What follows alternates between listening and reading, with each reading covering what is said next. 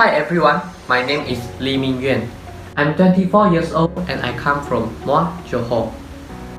I'm currently studying in University Technology Malaysia with bachelor degree of civil engineering.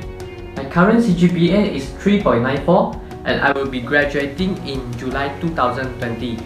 I consider myself as a responsible and highly dedicated person with great communication skill in work. I'm capable in using AutoCAD, STAAD.Pro and Microsoft Excel. Other than that, I also know some basics on Orion, MATLAB, Revit and Premiere Pro. I have heard that your company is one of the largest engineering consultancy firm in Malaysia.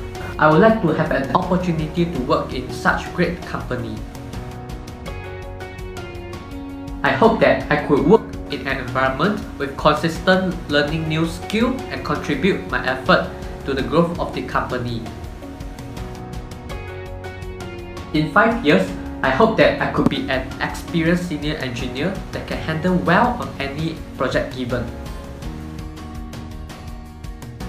Yes, I do have such experience when I undergone my internship at WKL Design in 2019. During my internship, I had learned a lot regarding the structural design work and civil design work. Other than that, I had also gone to the construction site and see how the work is done. Yes, I have participated in UTM Bridge 2019 and was awarded Silver Award in the competition. The working environment is good and I believe that a good working atmosphere can produce good quality work. Other than English, I can communicate well in Bahasa Malaysia and Mandarin. Other than that, I also know some basic Japanese.